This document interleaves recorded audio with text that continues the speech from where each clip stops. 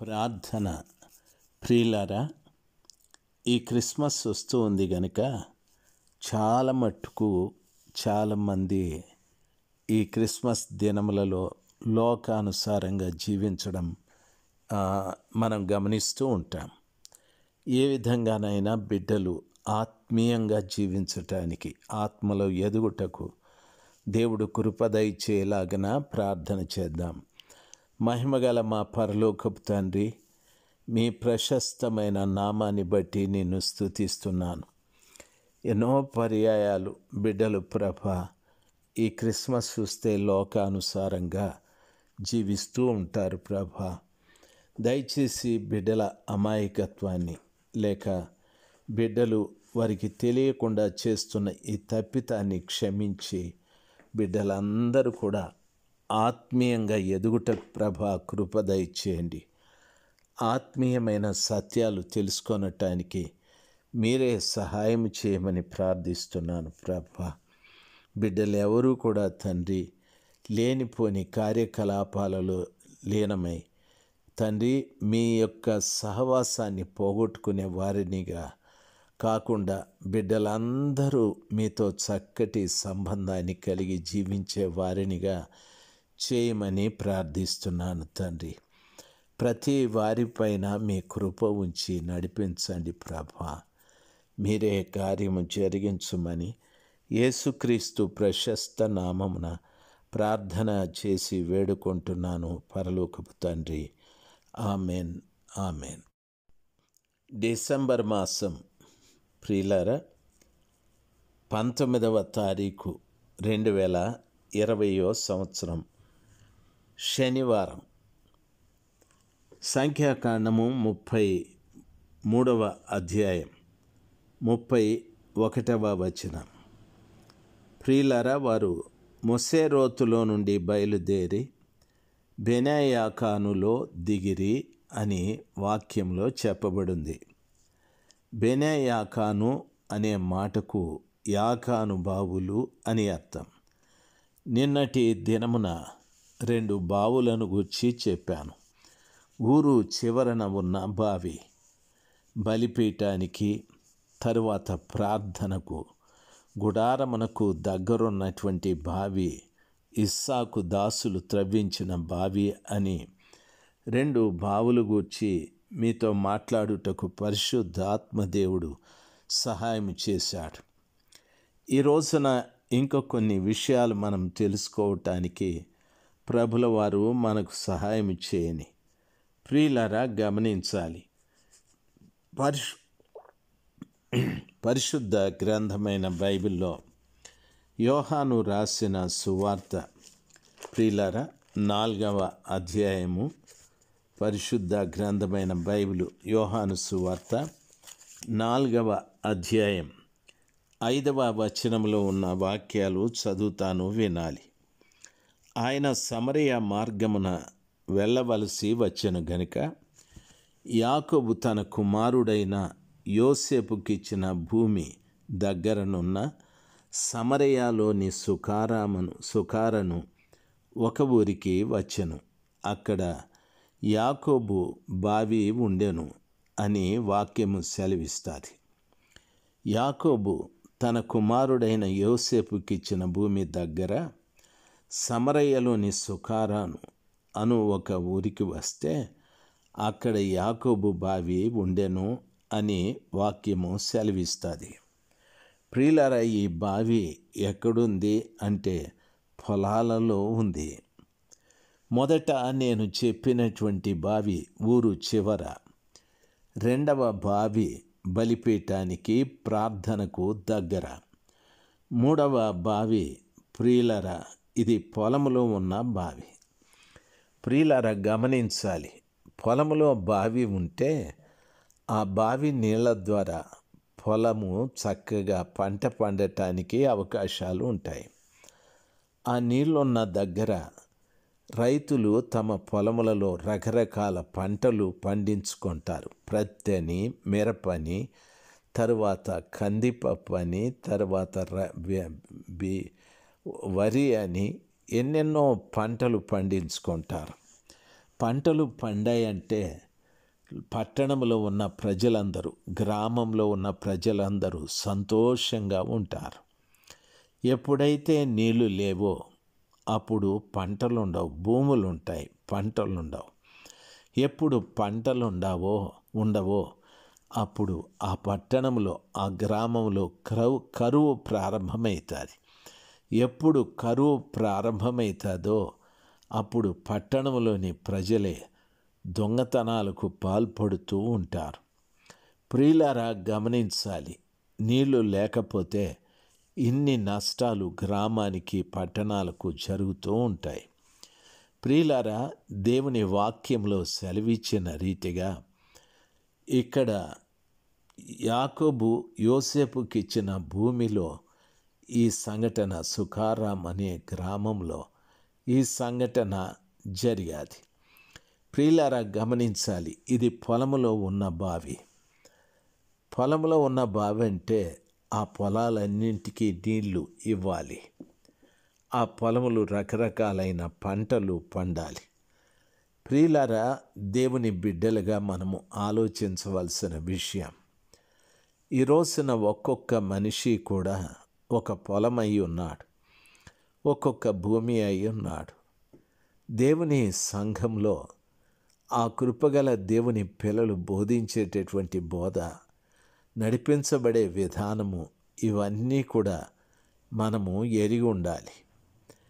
అనేక పర్యాయాలు మన జీవితాల్లో ఎన్నో పర్యాలు విసుక్కున్న రోజులు ఉంటాయి. ఎందుకు మందిరానికి వచ్చానా అని.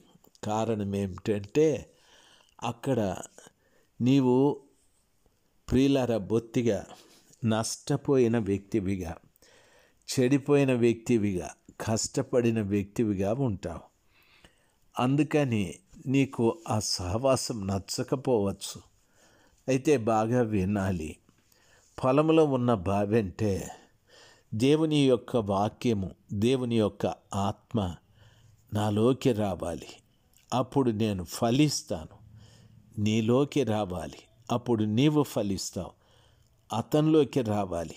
అతడు ఫలిస్తాడు. ఆమెలోకి రావాలి. ఆమె ఫలిస్తుంది.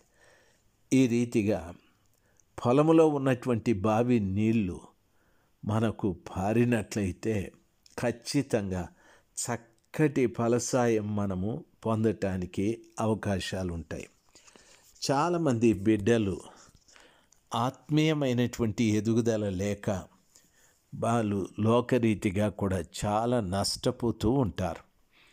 మూడవ యోహాను పత్రికలో చెప్పబడిన ఒక వాగ్దానం ఏమిటంటే ప్రియుడా నీవు ఆత్మలో వర్ధిల్లుచున్న కొలది అన్ని విషయాల్లో సౌఖ్యంగా ఉండాలని ప్రభు సెలవిస్తాడు. అయితే ఆత్మలో ఎదుగుదల చెందడం అంటే దాని అర్థం ప్రియమైన వర్లారా దేవుడు మనకిచ్చిన స్థితిలో మనం ఎదగాలి. బావి ఉంది పొలం ఉంది వ్యవసాయం చేసేవాడు లేకపోతే ఆ ఫలంలో ఫల ఫలసాయం ఎలాగ తీసుకోగలం? కాబట్టి వ్యవసాయం చేసేవారు కావాలి. రకరకాలైన పంటలు పండించే రైతులు కావాలి. దేవుని బిడ్డలుగా మీకు నేను మనవి చేసుకుంటున్న కార్యం పొలం అనేది ఒక సంఘం. ప్రియులరా ఆ పొలంలో ఒక్కొక్కరు ఒక్కొక్క చెట్టై ఉంటారు. దేవుని బిడ్డలుగా మనము ఆలోచించాలి. ఆ విధంగా ఒక్కొక్కరు ఒక్కొక్క కొం చెట్టై ఉంటే అది ఎప్పటికీ కూడా అభివృద్ధి కాదు. సంఘం అంతా కూడా ఏక మనసుతో ఉండాలి. ఒక తాడిపైన వారు నడవాలి. ఏక హృదయము ఏక అభిప్రాయము ఏకమైన మనస్సు ఇవన్నీ కూడా కలిగి ఉన్నప్పుడే దాన్ని సంఘము అని అంటారు. కాబట్టి ఈ సంఘం ఎక్కడుంది అని అడిగితే ప్రియులరా వా పరిశుద్ధ గ్రంథమైన బైబిల్లో చెప్పబడిన రీతిగా ఈ సంఘం పట్టణంలోనే ఉంది. ఆ పట్టణంలోనే ఈ సంఘం ఉంది. కాబట్టి పట్టణము పట్టణం యొక్క నాగరికత చాలా దుఃఖకరంగా విచారకరంగా ఉంటుంది. అందుకని ప్రభు బిడ్డలైనటువంటి మనము ఈ విషయాన్ని గమనించాలి. తరువాత ఆ బావిలోటి నీళ్ళు మనము త్రాగితే రకరకాలైన పంటలు మనము పండించుకోవటానికి అవకాశాలు ఉంటాయి. దేవుని వాక్యము దేవుని యొక్క ఆ యొక్క కార్యము నేరుగా మనతో మాట్లాడుతూ ఉంది. ప్రభు పిల్లలైన మీరు జాగ్రత్తగా ఆ విషయాన్ని గమనించాలని మీకు నేను మనవి చేసుకుంటూ ఉన్నాను. సంఖ్యాకాండము ఇరవై ఒకటవ అధ్యాయం ఇరవై ఒకటవ అధ్యాయం పదిహేడవ వచనంలో ఈ రీతిగా చెప్పబడి ఉంది. పరిశుద్ధ గ్రంథమైన బైబిల్లో సంఖ్యాకాండము ఇరవై ఒకటవ అధ్యాయం. పదిహేడవ వచనంలో యేసు ప్రభుల వారి శిలువ కార్యక్రమమును గూర్చి చాలా స్పష్టంగా రాయబడి ఉంది వాక్యంలో చదువుకున్నట్లయితే బైబిల్ రీతిగా స్పష్టంగా సెలవిస్తుంది. ప్రియమైన దేవుని బిడ్డలారా చాలా మట్టుకు మనము ఆ వాక్యాన్ని గూర్చినటువంటి ఆలోచనలు ఉండొచ్చు లేకపోతే లేకపోవచ్చు. అయితే ఆ వాక్యాన్ని జాగ్రత్తగా మనము చదువుకొని దాన్ని మనము ధ్యానించాలి. సంఖ్యాకాండము ఇరవై ఒకటవ అధ్యాయము పదిహేడవ వచనంలో అప్పుడు ఇస్రాయేలీయులు ఈ పాట పాడిరి. బావి ఉబుకుము దాన్ని కీర్తించుడి.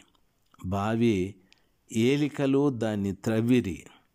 తమ అధికార దండముల చేత కర్రల చేతను జనుల అధికారులను బావిని బావిని త్రవ్వి ప్రియులర వారు అరణ్యము నుండి మత్తానుకును మత్తాను నుండి నహలియేలుకును నహలియేలు నుండి బాషెమతుకును మోయాబు దేశమందలి లోయలలోనున్న బామేతు నుండి ఎడారికి ఎదురుగానున్న పిస్గా కొండకు వచ్చిరి అని వాక్యము సెలవిస్తుంది.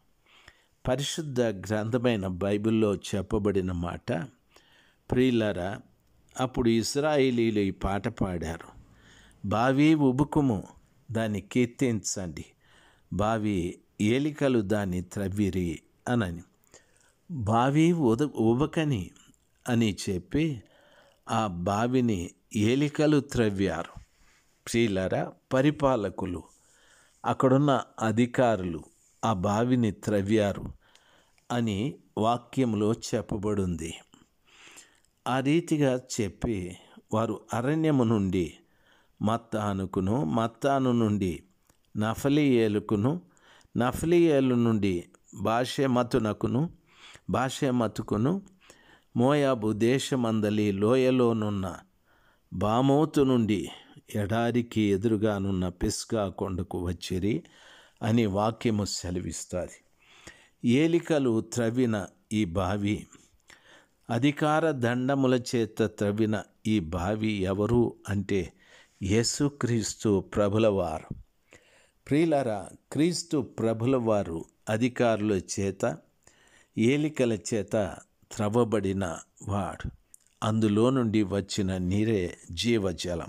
కాబట్టి ప్రభువు త్రవ్వబడిన బావి అనే సత్యాన్ని మనం ఎరుగుదుముగాక ఆమెన్. ఆమెన్.